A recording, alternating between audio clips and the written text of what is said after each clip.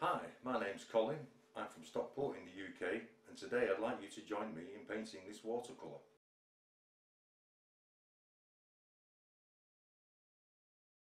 Okay, to start this picture we'll just mix up some uh, very simple colour washes. This is just plain cadmium red. I'm just adding it to some clean water. And some cobalt blue.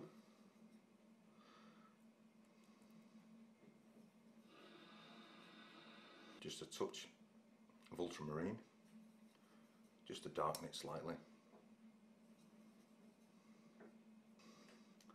This is Aureolin, but you can use cadmium yellow. It's a strong colour, very strong colour. And the last one is alizarin crimson.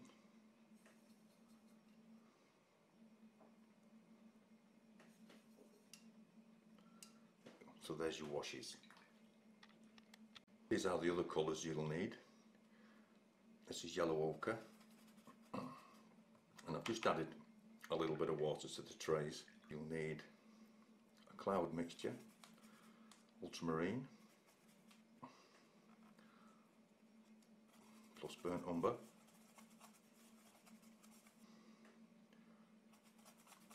which is some alizarin crimson, for the rocks, some raw sienna,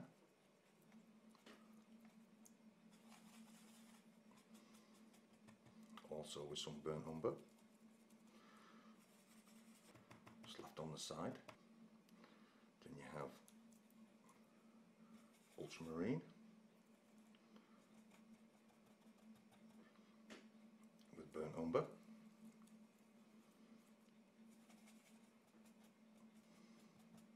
and those are the main colours that we will be using Okay, this paper's been pre-stretched in some water and I'm just going to take the excess water from it. Just dry out an area of the sea. First of all, just apply the cadmium red. So, just let that down with a little bit of water.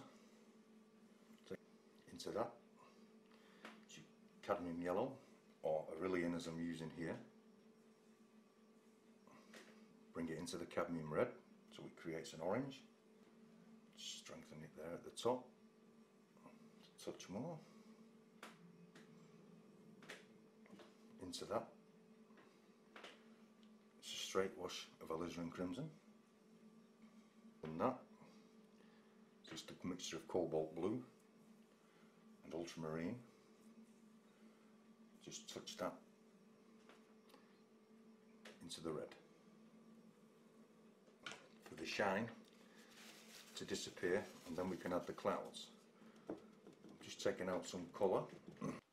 Whilst the sky is nearly dry we'll just add some of the sea in so take some of the Aureolin mixture that you used for your sky. Pull most of it off so it's just a damp brush. And pull it across you need to strengthen that slightly so you can see it better.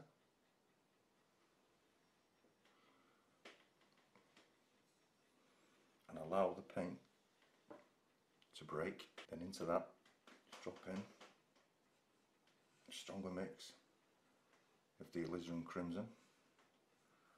It goes over your rocks then you can add the same mixture you use for your sky pull that in as well. Just another little band of Aureolin strengthen that up. And into that is your cobalt blue. And ultramarine mixture. Just a little strengthen that up.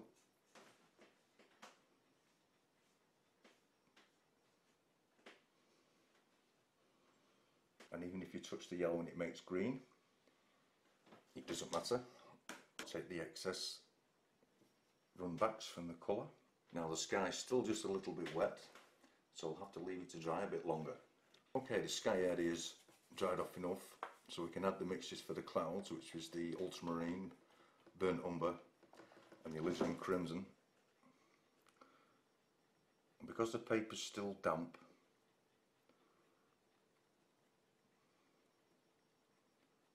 these clouds will soften.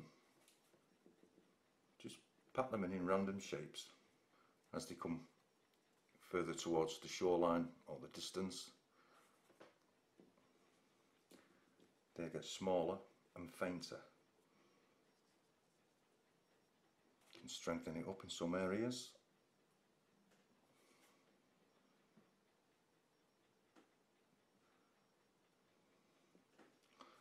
This will give your clouds some shape and some form.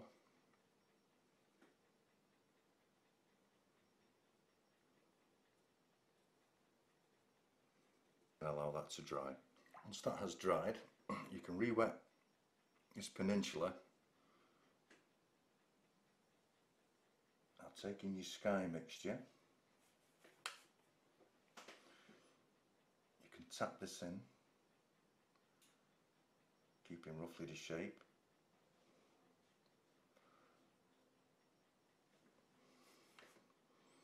Along here. Drop some yellow ochre in. If you haven't got yellow ochre, raw sienna will do the trick. To the hills. It's a kitchen towel.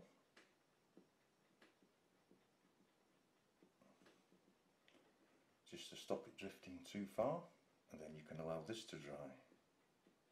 Once you've allowed that to dry you can just re-wet these areas again and what we're going to do is just strengthen up some of the hills and pull in the direction that the hills are flowing.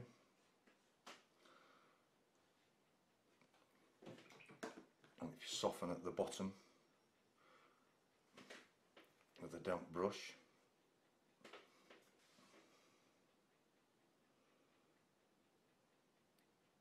state your house.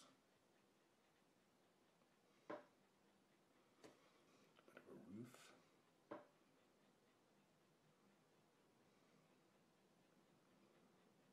And at the bottom.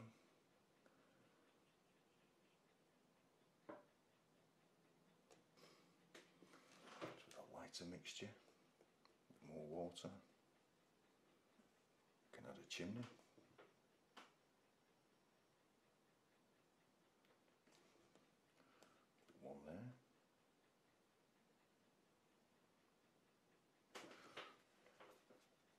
That to dry. Once the headland is dry, we'll fill this one which is closer to us in here. Take your paint to the top.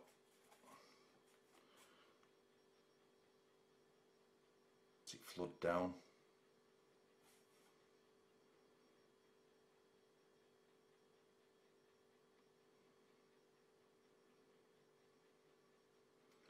Give it a little bit of shape.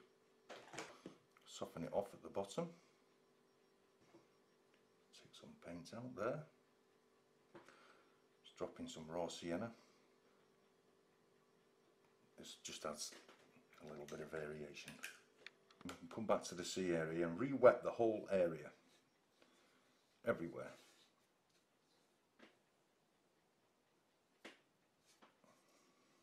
And with that, just strengthen it up.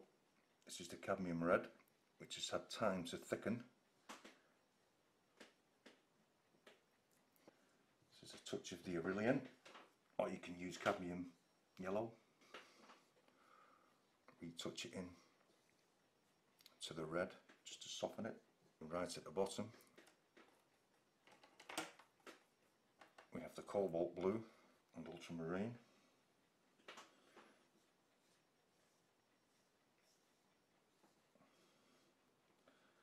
Just allow all that to come together. Allow that to dry. Just remove that.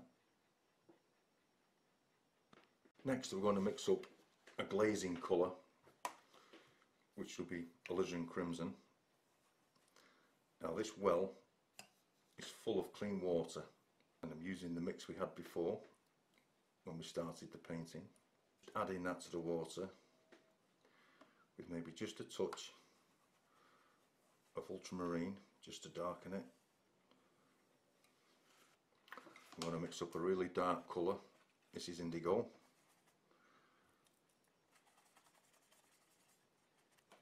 With a burnt umber.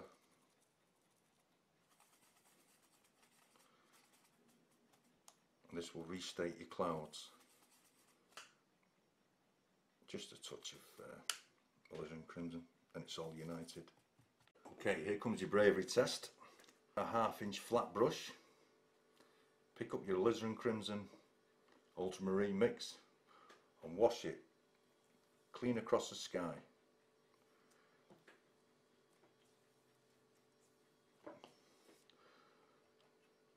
Might have to be a little bit darker. There we go. Bring it down over the red. Just touching the yellow. Do the same thing with the sea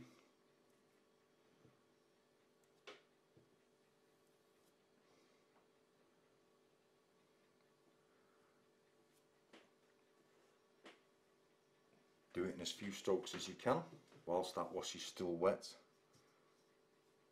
Just soften the edge off with a damp brush.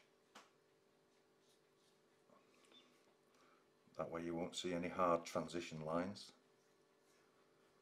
Now whilst this is still wet with your mixture of indigo, ultramarine, sorry, indigo, alizarin crimson and burnt umber, this is where your real dark clouds come in. And because there's paint underneath the glaze, this will spread very slowly. And this will help to re-emphasize your clouds that are underneath. Not everywhere, just just enough to add depth. touching the corner. So we'll build that one from the corner there. And softening off all the time. Move your board around.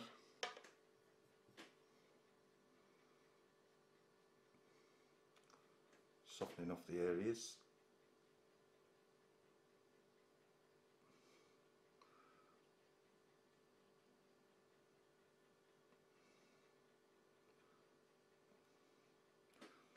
and then allow that to dry.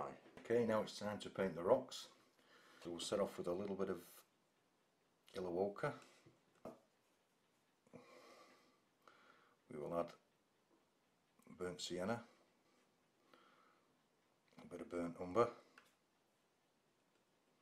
working it into the paper, and to that is the burnt umber and ultramarine.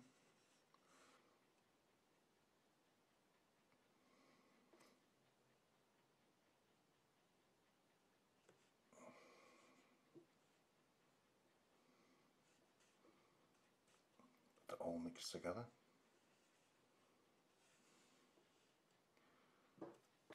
So having painted your colours on, which with your yellow ochre, your burnt sienna, your raw umber and your ultramarine and burnt umber, we're just going to lift some of the colour out to suggest shape. Cleaning your brush.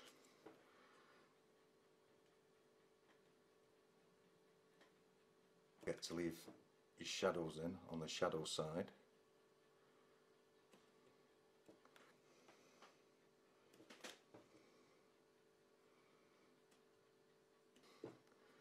Then we'll just take a little out there. You can if you wish to. Just redarken some areas. This will help to make it stand out.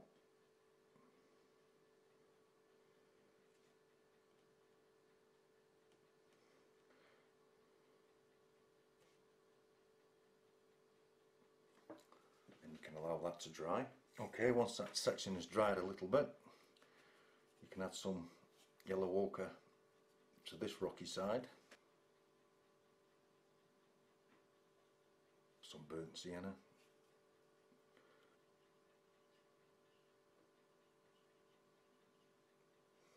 Some burnt umber. And that if you burnt umber an ultramarine. Allow that all to mingle together.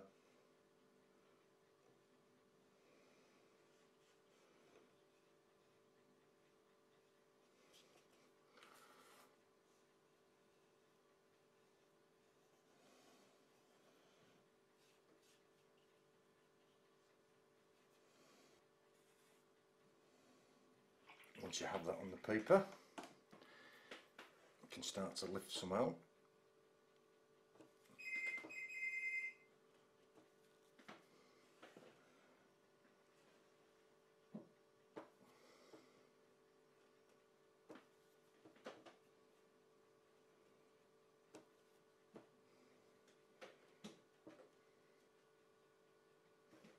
You can spend a bit of time doing this.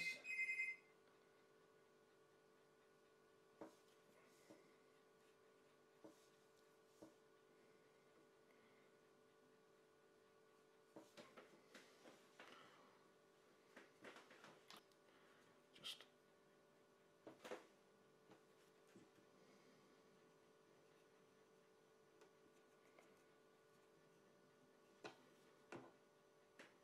tries to create some unusual shapes if you can.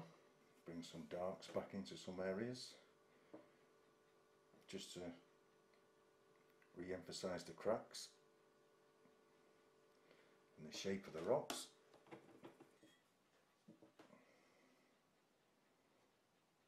And whilst all this is still wet, it'll soften off.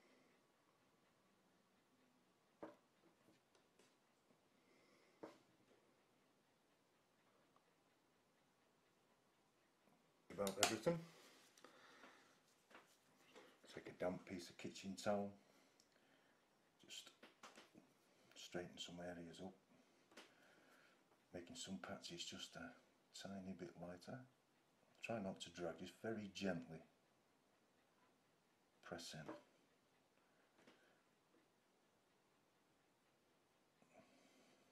And now that we've just got it to this stage, we'll run some water up under the hills. And we'll create a reflection.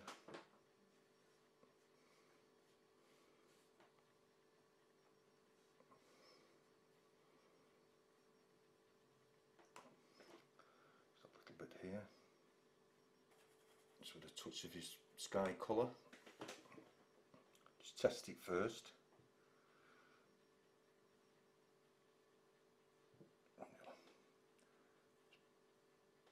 pull it gently down,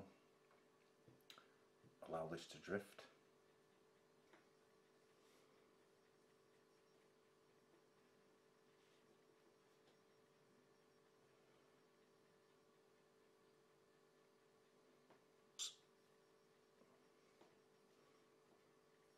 It's the same sky colour. Putting a little variation.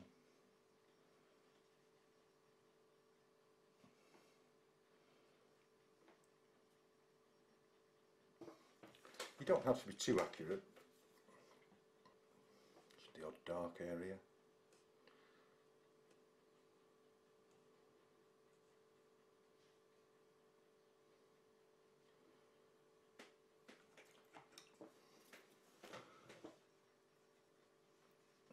Soften it off.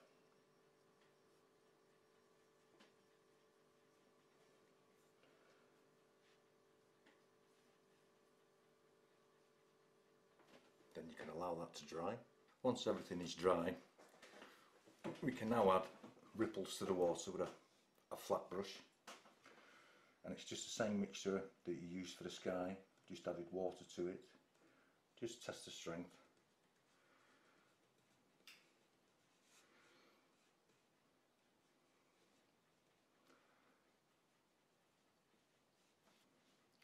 This is just to add movement to your water.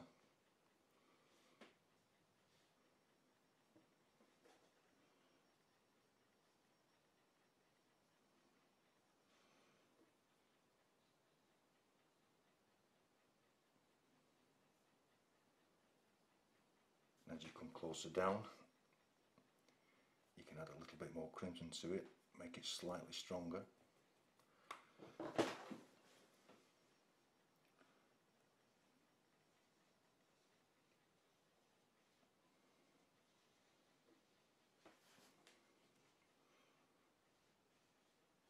Okay, I'll stop the film there and finish it off due to time.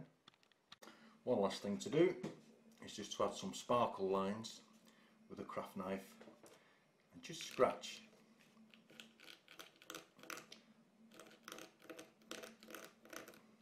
Try not to overdo this.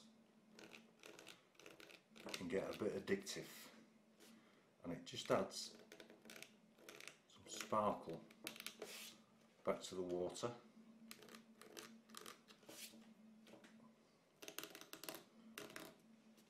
Creating interest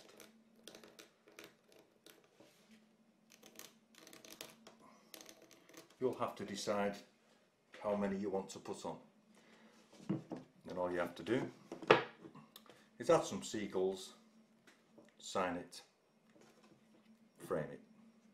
I hope you enjoyed that and thank you for watching